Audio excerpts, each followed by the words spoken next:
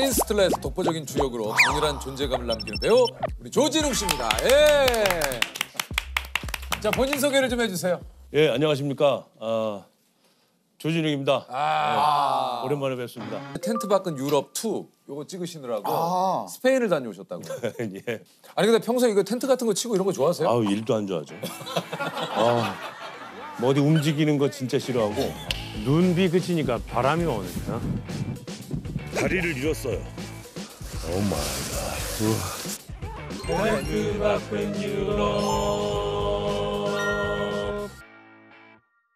아니 그저 오늘 주제가 사실은 그 이제 유- 위대한 유산인데 원래 이게 저 조진웅이라는 이름이 아버님 예, 예, 좋아하시죠? 진짜 웅자 쓰시죠. 아 그럼 원래 조진웅 씨의 그 본명은 뭐예요? 원준입니다. 조원준. 아 조원준 아 이름 조원준. 예. 예. 근데 왜 조진웅이라는 이름을 아버님 전화를? 어, 그냥 아버지를 평상시에 존경하는 인물이었고 아 그래요. 이름이 좀 멋있어 보이고 그래갖고 말죽거리 잔혹사로 저는 영화로 데뷔를 했었는데 크레딧에 그 이름을 했으면 좋겠다 했더니 뭐 집에서 가져갈 게 없어서 별걸 다 가져간다 어 위트가 있으시네요. 네. 아, 마음대로 해라 어, 최근에는 이제 뭐 로열티를 많이 지불하고 있었거든요 로열티. 빨리 제가 제 이름을 찾아야 되지 않을까 집에서는 어떻습니까? 가, 가끔 이제 명절이나 이렇게 가족분들이 모이실 때아 저는 지- 준하 준하 하죠 저는 주나 주나 해요. 준하 하고 예. 아, 아 진웅이라는 이름은 어 이제 집 집안 집 내에서는 안에 좀- 들어가서는 이제 금기어가 아, 제가 제가 큰 아버지이기 때문에 아 함부로, 그러네. 예. 어떻게 캐스팅이 되신 거예요? 뭐 우연찮게 그 삼성동 그 앞에 지나가는데 군대 선임을 만났어요. 근데 군대 선임을 만났는데 영화사에 예, 연출부로 있더라고요. 반갑다 그래서 이런저런 얘기를 하다가 저는 연극을 하고 있었고 아 연결동을 하고 계셨군요. 예, 영화 해볼 생각 없냐 그래서 그래서 이제 오디션을 그때 어디 가고 계셨던 거예요? 그럼 삼성도 뭐 정확히는 기억은 안 납니다만 뭐 어디 놀러 가지 않았을까 예. 하여튼 뭐 특별한 어떤 꼭 가야 뭐, 되는 그, 자리는 아닌. 그런 건 없었어요. 와 그냥, 근데 예, 정말 우연찮 어, 정말 우연찮게 근데 제가 그때 그 말죽거리 장사가 저희 친구들 사이에서도 그렇고 너무 이제 그렇죠 인기가 그렇죠. 뭐 유행어도 많이 나왔고 어. 근데 사실 형이 나오셨을 때 다들 야 근데 저분은 학생이라고 하기에는 그때 나이가 몇 살? 그게 고등학교 학원물인데. 학원물인데 그 몇 살이셨죠 그때가? 글쎄 제가 그때 뭐 스물아홉 서른 뭐 이 정도 되지 않았을까 싶은데요. 좀 약간 그 당시에 그 나이로 보였거든요. 예. 뭐, 네. 뭐라고요? 그 나이 그 나이로 보였어요. 아 형 왜 그러세요? 예, 예. 관리하는 사람인데. 아니 그 당시에는 그 당시에는 아니 어쨌든 저 그 전에는 이제 극단 생활을 예, 하신 거죠. 전 부산에서 극단 생활을 아 얼마나 하셨습니까 극단 생활을? 딱 한 10년 정도 했던 것 같아요. I thought 솔약국집 아들. 아 맞아요 맞아요, 맞아요. 여기에 이제 예, 시청자 여러분들의 눈도장을 제대로 찍은 예, 작품이죠. 매주 이 찾아온 기회를 놓치지 않으려고 작가님을 매주 찾아뵀대요 우리 조진웅 씨가. 사실은 그 캐릭터가 상당히 제가 연기하기에는 그걸 뭐라 그러죠? 오글거리는 어. 연기를 했었어야 돼요. 뭐 하니 뭐 이런 어, 거. 맞아요 맞아요 그렇죠. 맞아요 그런 식으로 큰 오토바이 타고. 그런 게 너무 제 속에 DNA는 없어서 음. 거의 매일 찾아갔던 것 같아요. 찾아가서 이거 어떻게 연기를 해야 되냐? 그래서 앞에서 이렇게 하면 되냐 하면서 이제 작가님하고 계속 얘기를 한 거예요. 굉장히 연습도 많이 하고 음, 그러다가 이제 작가님께서 나도 글을 써야 되는데 그만 좀 와라. 예. 어 그래가지고 얼굴에 철판을 깔고 했었는데 이게 이제 솔약국집 아들들 할 때 일부러 좀 살을 좀 많이 예, 체중을 좀 증량을 하신 거죠. 일부러요? 예, 아니. 그냥 자연스러운 모습이었고. 아, 그 당시 모습. 예, 그럼 일부러 많이 먹었던 적은 있는데 예, 뭐 그렇지 않아도 저는 항상 이렇게 돼 있었고요. 석규 씨의 호위무사. 그렇죠. 호위무사 역할이니까 아무래도 또 좀 뭔가 감량을- 그런 좀 예, 감량이 좀 그래서. 필요했겠죠. 운동을 좀 많이 했죠 그때는. 어. 예. 한 120에서 80한 와 거의 한 사- 와 거의 한 4, 50kg를 그, 그 정도로 뺀. 그 감량을 어떻게 하셨어요? 안 먹고 운동하는 거죠. 안 먹어요? 예. 술 끊고 어. 원만한 대인 관계를 끊고 독하게 하는 거죠. 데뷔하는데 이 김무열 씨 같은 경우는 증량을 했어요. 네네네 조직 폭력배 역할이기 때문에 아, 그 증량하는 것도 예, 힘든데. 그리고 증량하는 게 힘들다 그러더라고요. 증량하는 것도 힘들어요. 힘들어요? 그 저도 사실 아, 증량하는 거는 이게 안 먹던 사람 입장에서는 이게 또 위에 부담도 좀 많이 되고 해서 그게 힘들어요. 아 위에 부담이 가는구나. 안 먹던 분들은 좀 위에 얘가- 부담이 좀. 무열 씨 같은 경우 15kg 정도 증량을 했어요. 와 15kg. 어우 15kg를 그거 어떻게 아좀 그래요? 증량하는 게? 어 그렇구나. 아 중량하는 것도 전한 2주 봅니다. 예. 아, 그렇죠. 예. 매일 같이 네. 뭐뭐 물만 먹어도 되는데. 아, 그, 어. 어 그리고 아니 평소에 술도 좋아하신다고 애주가라고 얘기를 들었어요. 예. 근데 이제 제보에 의하면은 술자리를 한번 시작하면 끝낼 생각을 안 하셔서 어. 술집 알바생들 사이에서는 기피하는 연예인이다. 에이, 이게 이게 에이 이 선- 알바생들이요? 예, 왜냐면 에이, 출처가 어디? 여기 방송 어디서?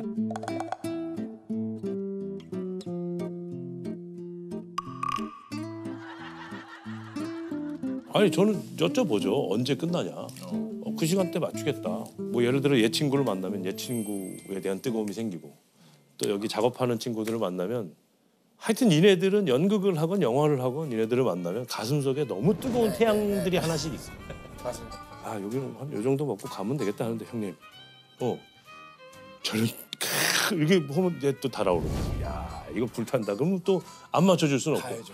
그럼 이 뜨거운 태양들이 만나서 예, 너무 뜨거워지는 거죠 예, 그래서 막 지금도 얼굴이 뭐, 뭐 하고 지금도 얼굴이 너무 뜨거워지는데요. 뜨거워져요 예. 어. 아니 조진웅 씨가 이 뜨거움이 이게 보세요. 소문난 롯데 자이언츠 야구 팬이에요. 아 그렇죠. 네. 조진웅 씨. 그래서 그 이대호 선수 은퇴식 때 이제 영상 편지. 정말 수고 많으셨고요. 이대호 선수의 은퇴 이후에 제2의 삶을 진심으로 응원하겠습니다. 안녕.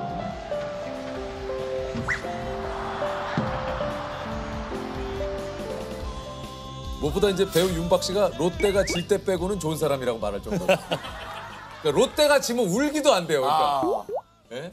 빠빠라빠라빠 빠빠라빠라빠 빠빠라바바 어 롯데 롯데 팬이세요? 아니 어쨌든 저 요게 이제 이후에 범죄와의 전쟁이라는 또이 영화 그 영화야말로 이제 부산이 아, 배경이에요. 진짜 뭐. 요거 뭐 진짜 거의 물 만난 뭐 고기 같은 느낌 아. 니었을까요 예? 아 저야 뭐 부산 사람이고 뭐 그렇게 하는 거야 그냥 어렵지는 않았습니다 네. 예, 그래서 인물을 구축하고 표현하는 데만 조금 열중을 했을 뿐이지 네. 예. 디테일이 아, 그렇죠. 디테일이 예전 조진웅 씨가 연기했던 비열한 거리에서의 네. 모습은 뭐라고 소문이 돌냐면 실제로 조직폭력 밴드 연기를 하는 것 같다. 아니 그 실제로 진짜로. 실제로 그러면 그 흔히 그들이 하는 인사나 말투나 그런 행동들이 있는데 어떻게 저렇게 똑같이 묘사를 이게 같은. 사투리인데도 그 좀 약간 그 세계에서 쓰는 사투리가 네네네. 약간 미묘한 차이가 있다고 그래요? 뭐 그렇더라고요. 저도 뭐 예를 들어 상황이 그때 당시 이제 제가 조인성 씨의 부하인데 근데 이 친구가 이 앞에서 담배를 태우거나 맞아, 맞아, 그런 맞아. 행동을 할 수가 없대요. 네. 그러면 계기를 내면 이런 어투가 나와야 된다. 어 뭐 뭐 그런 디테일에 대해서 얘기를 해주시더라고요. 그 그래서 대사가 아직도 기억이 납니다. 아, 기억나요? 난 형님, 기억이 안 나는데. 좋은 날인데 좀 이해해 주십시오. 딱 이게. 아, 뭐 그- 그런 이제 이런- 뭐냐면은 야 너 많이 컸다. 이제 형 앞에서 담배도 어. 피고 하면은 조진웅 씨가 형님 좋은 날인데 좀 이해해 좀 해주십시오 하고서 아 담배를 맞아 맞아. 여기 조진웅 씨는 기억을 못하는데 너무 좋아해서 대사를 다 외웠어요. 아니, 그래가지고 아무튼 예. 그 오락실 앞에서. 전라 그렇죠. 네. 아 개업식 그렇지. 네, 개업식. 맨 처음에 감독님 사무실에 참 놀러 와라 그래서 차 한 잔 마시면서 하는데 그 프로모를 보여주셨어요.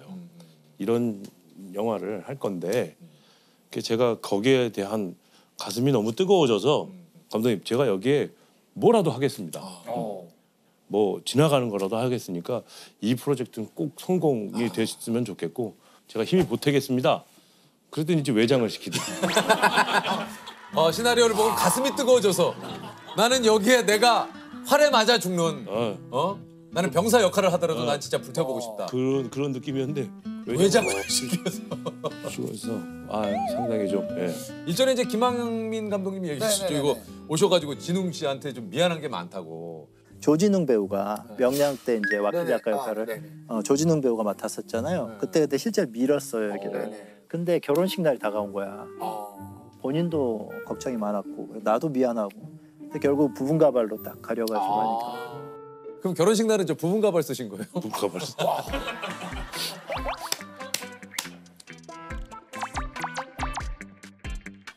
사모님께서는 별 얘기 안 하시던가요?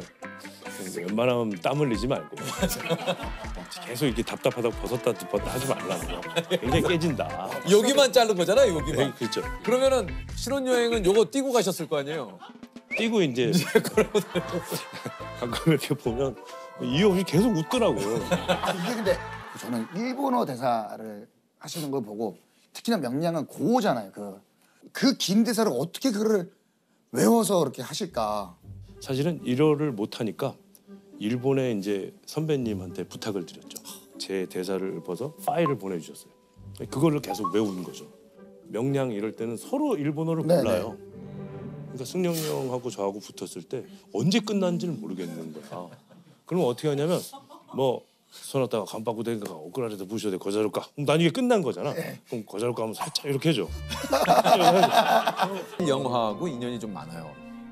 이게 이제 그 역사적으로 존경받는 큰 인물을 이렇게 연기하시는 거라 이게 좀 뭐 좀 걱정되는 것도 좀 많이 있었을 것 같은데요. 아무래도 작품의 무게에 많이 그쵸. 좀 눌리게 되고 예. 사실은 거기에 나오는 대사를 제 임의대로 바꿀 수가 없고 그거는 뭐 일지에 나와 있는 백범 일지에 나와 있는 근거를 토대로 하는 것이었기 때문에 약간 또 의미와 의식을 가져야 되지 않을까. 음. 예, 그런 생각이 들어서 예, 조금 깊이감 있게 하지 않았나? 이런 생각이 듭니다. 그래서 저는 사실은 뭐 이 말씀이 어떻게 들리실지 모르겠지만 김구 할아버지 팬이 됐죠. 예, 대장 김창수 하면서. 저는 그냥 재연을 할 뿐이었고 대한민국에 대한 그런 애정과 그리고 거기에 대한 의식은 흉내조차 못 내겠구나 뭐 그런 생각을 참 많이 했죠. 실제로 나였으면 그러니까 그렇게 과연 말할 수 있을까? 살려주세요가 먼저가 아닐까? 근데 사형당하는 그 직전에도 뭐 그런 말씀을 하셨으니까 할아버지 심정이 과연 어땠을까? 너무 두려웠을 텐데 예. 헤아려지지가 않죠. 그 김은희 작가님은 이제 이제아는 조진웅이라고 생각을 한다. 이렇게 이제 생각하고 쓰셨다고 했는데 처음에 좀 거절하셨다 그래요? 예, 많이 거절했죠. 아 왜요? 아니 과거랑 무슨 통화를 해? 무슨 무전을 하냐고 뭐 이런 게좀잘 모르겠더라고요. 그래서 아, 내 스스로 뭔가 좀 설정 이해가 좀 자체가 아, 설정 자체가. 예. 네. 그래서 이런저런 설득을 한참 하셨는데 그 대사였던 것 같아요. 그냥 어, 여기 이렇게 되게 부조리하고 음. 상당히 좀 여기는 암울한데 그렇지. 거기는 그래도 바뀌었죠. 아 그래도 많이 바뀌긴 했죠. 예. 예? 달라졌을까요? 이재현 형상님 보시기에는? 항상 과도기라고 얘기하기는 좀 뭐하지만 그래도 많은 분들이 힘써 주시고 노력하고 있고 그렇죠, 그렇죠. 그래서 예. 저희가 꼭 그렇게 만들어야죠. 만들어야죠. 네, 그렇게 맞습니다. 해야 되지 않을까 싶습니다.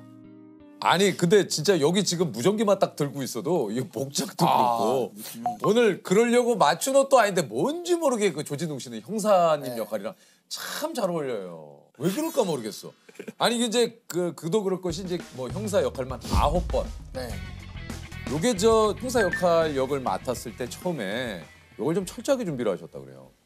그러니까 그때 당시가 강적이라는 영화였는데 그때 저희가 서대문 경찰서 강령 6팀하고 한 달 반 뭐 그 정도 합숙을 했었던 거 아 진짜 그냥. 서대문 네. 그 강력팀에서 한 달 그쵸. 반을요? 그 실제로 사건이 뭐였냐면 동대문파, 남대문파 어. 57명 동시 검거 작전이었어요. 저희가 이제 잠복도 같이 나가고 출동도 같이 했다가 예, 뭐 이런 경험들을 통해서 자연스럽게 이제 연기를 할 수 있도록 어, 그런 배려를 해주셔서 그렇게 했었던 그래서 함께. 예 서대문 경찰서 그 근처에 여기 서대문 요쪽에 맞아요. 그렇죠. 예, 맛집 잘 알고 형사님들은 주로 뭐 마- 자주 드세요 그 당시에? 그? 한 장 곁들일 수 있는 그런 음식들도 하고 김치찜 아 맛있겠다. 아니면 이제 그 껍데기인데 아 이게 맛이 또 아유 가자 이제 뭐 아 근데 아, 무슨 말씀을 녹화 해주시는데 음식이 앞에 있는 것 있어요, 같아요. 이거, 이거. 아 느낌이. 아 오늘 고생하셨어요 한 잔씩 딱 하고 그러면 그냥 막 녹죠 녹아 야 이게 데뷔 20년 동안 참여한 작품만 70여 개. 1년에 한 3, 4개는 하셨다는 얘기인 건데 이게 딱히 어떤 그런 이유가 있습니까? 쉬지 않고 이런 그 많은 작품을 또 하시는 이유가. 작업을 했던 분들이 또 계속 어, 아, 정말 이번. 어, 이번 작업 좀 이렇게 해서 같이 하자 해주시는 게 많아서 그게 다 저한테는 은인들이라고 아, 생각을 그러니까요. 해요. 예. 네. 그런 작품을 안 했었으면 또 제가 이렇게 볼 수도 없었을 그거 거죠. 참 예. 쉬운 일 아니거든요. 쉬운 일 아니에요. 되게 유명해지고 싶었거든요. 어, 그래서 돈 많이 벌고 잘 살고 싶었다. 이 얘기가 아니라 하고 싶은 이야기를 유명해지지 않으면 할 수가 없어요. 더 소명을 가지고 더 열심히 작업을 해야겠구나 이런 생각이 들었죠. 예.